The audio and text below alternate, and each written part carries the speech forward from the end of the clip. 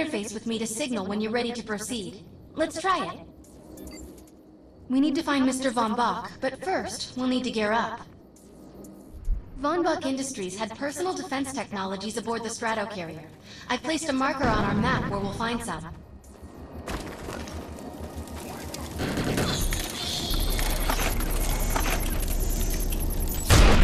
Excellent! Once you equip that, it will allow me to activate the shield.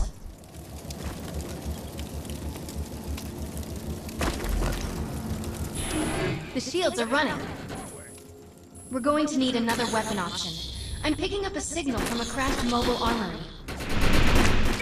Let's hurry. We need to collect the necessary equipment as soon as possible so we can start looking for Mr. Von Bach.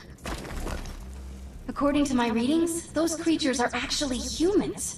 However, their DNA is severely mutated.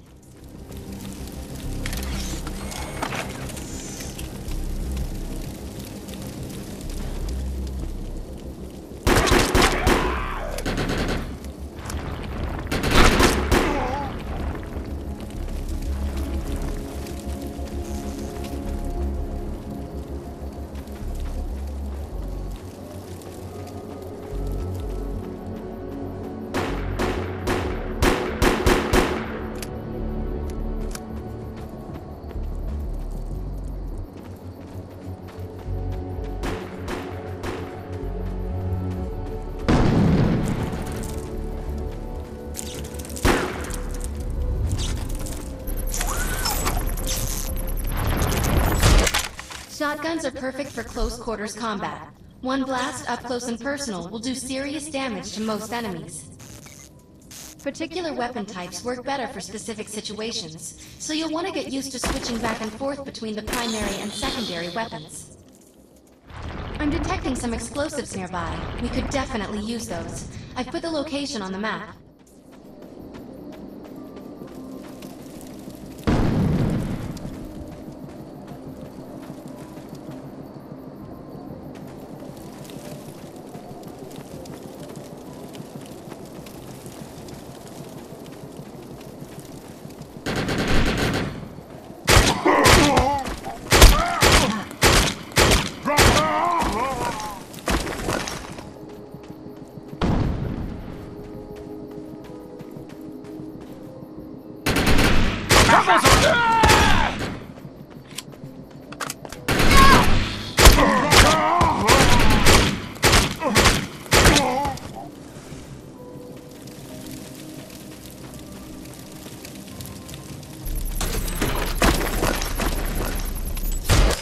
This supply pod is filled with grenades. Grab one and equip it.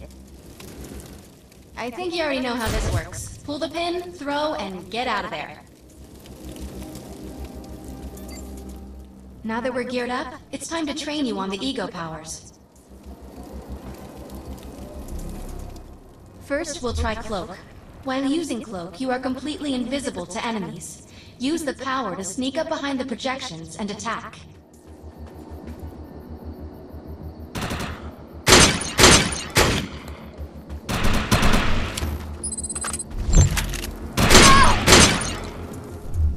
Cloak must be activated to sneak behind the projections and attack.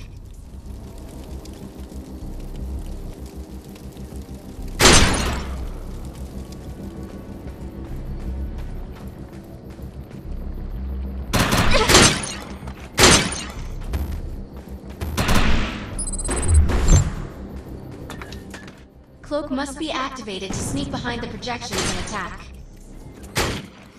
Now we'll test the overcharge power. While using overcharge, your damage inflicted on the enemy is significantly increased.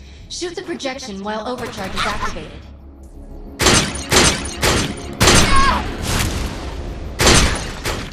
I'll enable the decoy power now.